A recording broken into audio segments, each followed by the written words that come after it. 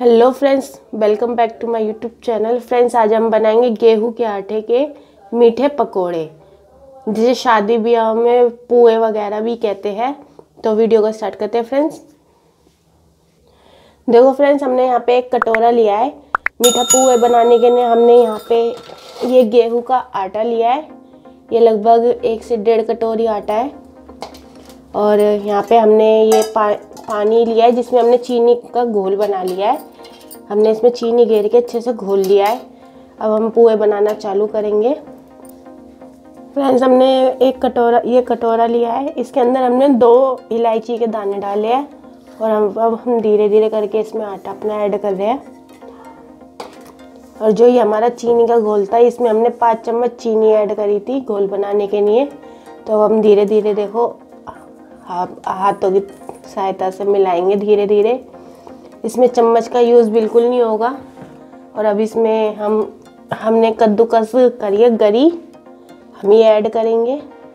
ये गरी हमने कद्दूकस इसलिए करी है कि हमारे जो मीठे पकोड़े हैं वो सॉफ्ट बने।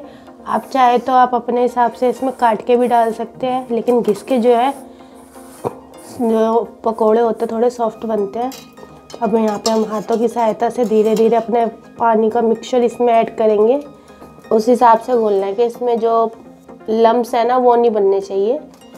देखिए फ्रेंड्स ये हमने अपना घोल तैयार कर लिया है। ये ना ज़्यादा गाढ़ा है, ना ज़्यादा पतला है। ये नॉर्मल है।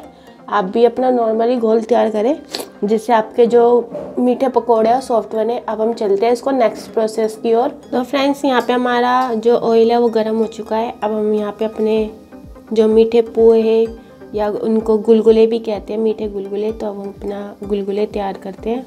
मतलब फ्राई करने चालू करते हैं। ये देखिए, हम धीरे धीरे ऐसे ऐसे डालेंगे छोटे छोटी शेप में। आप थोड़ी थोड़ी दूरी पर डालिए, ताकि आपके चिपके नहीं।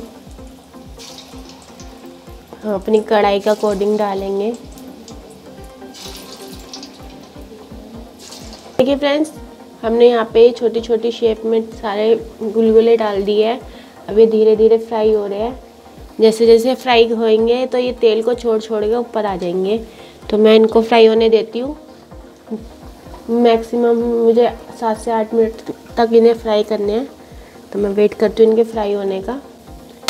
देखिए फ्रेंड्स ये धीरे धीरे फ्राई होने लगे हैं। हल्का हल्का सुनहरा रंग आ गया इनके ऊपर। अब हम नीचे की तरफ़ से पलट दिया है ताकि ये दोनों तरफ़ से अच्छे से सीख जाए। देखिए फ्रेंड्स ये हो गए हैं कुरकुरे और गोल्डन अच्छे से हो गए। हैं अब हम इनको निकाल लेंगे कढ़ाई में से अपनी। सो फ्रेंड्स फाइनली हमारे मीठे गुलगुले बन के तैयार हो चुके हैं। देखिए एकदम क्रिस्पी बने हैं।